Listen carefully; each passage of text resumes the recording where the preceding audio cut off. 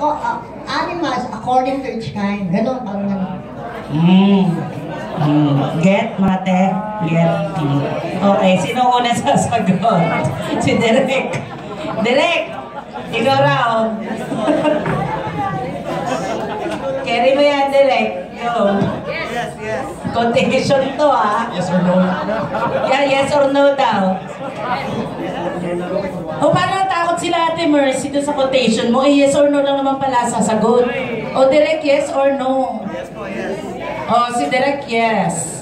Si Aisa yes din. Oh yes, yes, Miss Pops. Ikaw lahat sila yes na Ate Mercy. Si Andrew, yes. At na kay Mark, yes. Pero na lang kung meron gusto mag-expound na, mag-explain na kung bakit yes. May ibang sagot. Oh, ayan na, si Andrew ba sagot? Ah, yes, pero humahawak ako ng mic. Ilang hindi humahawak ng mic, kaya nag-yes lang. So, yes. Okay, thank you. Happy New Year.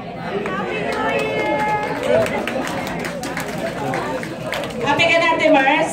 Ayan.